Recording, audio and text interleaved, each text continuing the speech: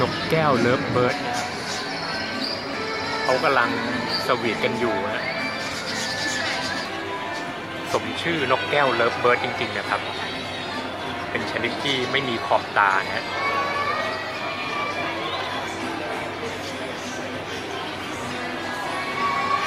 เป็นนกปากขอขนาดเล็กครับ มีสีสันสดใส มีความยาวเต็มที่ประมาณ 5-6 นิ้วครับ มีถิ่นกำเนิดในทวีปแอฟริกาฝั่งตะวันออก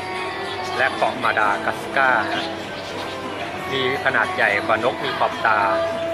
เมื่อเลือกคู่ได้แล้วนะครับ มันจะอยู่กับคู่ของมันตัวเองไปจนตายนะครับ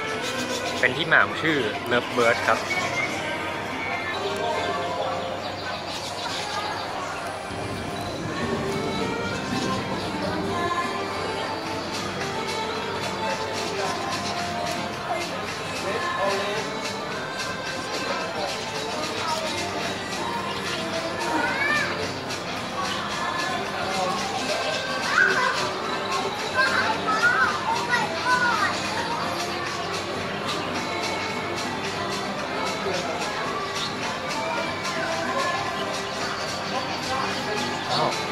กงในกงนี้มีสี่คู่ครับนี่ครับสมชื่อจริง ๆ ว่านกแก้วเลิฟเบิร์ดแบบคู่ไข่คู่มันจริงๆ